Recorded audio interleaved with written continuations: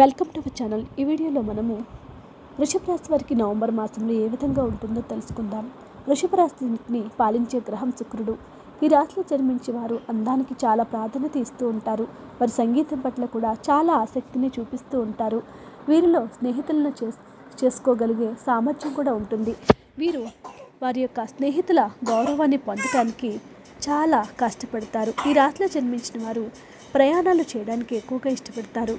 బృహస్పతి యొక్క స్థానం పన్నెండు ఇంట్లో ఉంది. రాహు మరియు కేతువులు వరుసగా ఐదో మరియు పదకొండవ గృహాలకు వెళ్తారు. మరియు పదవింట్లో తిరోగమన కదకుల్లో ఉన్న శని ఉంచబడుతూ ఉంది. మొదటి మరియు ఆరవ గృహానికి అధిపతైన శుక్రుడు వరుసగా ఐదు మరియు ఆరవ గృహాలలో ఉంటాడు. ఈ మాసంలో బుధుడు వరుసగా సప్తమ మరియు ఎనిమిదవ గృహాలను ప్రవేశం చేస్తాడు.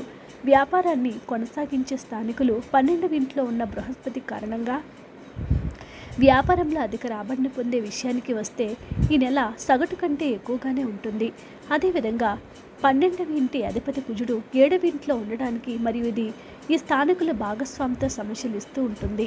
నవంబర్ రెండు వేల ఇరవై మూడు నెలవారీ రాశిఫల ప్రకారం వృషభ రాశికి చెందిన విద్యార్థులు సప్తమ మరియు ఎనిమిది ఇంట్లో బుధుడు ఐదవ గృహాధిపతిగా ఉండటం వలన మధ్యస్థమైనటువంటి ఫలితాలు రాబోతూ ఉన్నాయి. ఈ రాశి చెందిన వారు ఎక్కువ ఏకాగ్రత వహించవలసి ఉంటుందని తెలియజేస్తూ ఉన్నారు జ్యోతిష్య నిపుణులు.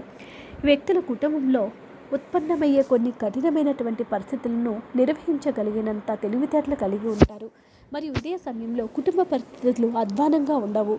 ఈ నెలలో కుటుంబంలో వివాదాలు రావచ్చు.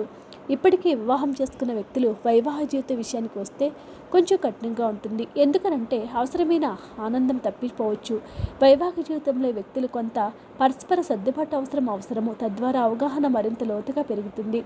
వ్యాపారంలో ఉన్నటువంటి వ్యక్తులు అధిక లాభాలను పొందలేరు. మరియు పోటీదారుల్లో గట్టి పోటీ ఉండవచ్చు. అలాగే వ్యాపారంలో ఉన్న స్థానికులు తక్కువ ప్రణాళిక మరియు భాగస్వామి నుంచి కూడా మద్దతు పొందలేకపోవటం వలన నష్టాలను ఎదుర్కొంటూ ఉంటారు. మంచి లాభాలను అద్దించడం అంత సులభం సాధ్యం కాకపోవచ్చు. ముఖ్యంగా ఈ రాశి వ్యక్తులు చిన్నపాటి ఆరోగ్య సమస్యలు ఎదుర్కోవచ్చు. మొదటి మరియు ఆరవ గృహాలకు అధిపతైన శుక్రుడు ఐదవ మరియు ఆరవ ఇంట్లో ఉంటాడు. మరియు ఇది వ్యక్తులకు సౌకర్యాలను తగ్గిస్తుంది మరియు తద్వారా వారి ఆరోగ్యంపై ఖర్చు పెరుగుతుంది. బృహస్పతి పన్నెండింట్లో ఉంటాడు. ఓం దుర్గాయ మహా ప్రతిరోజు నూట ఎనిమిది సార్లు పఠించండి. శనివారం రోజు రాహుకి హవియావనం చేయండి. వీడియో నస్తే లైక్ చేయండి. మరిన్ని వీడియోస్ కోసం మా ఛానల్ని సబ్స్క్రైబ్ చేసుకోండి.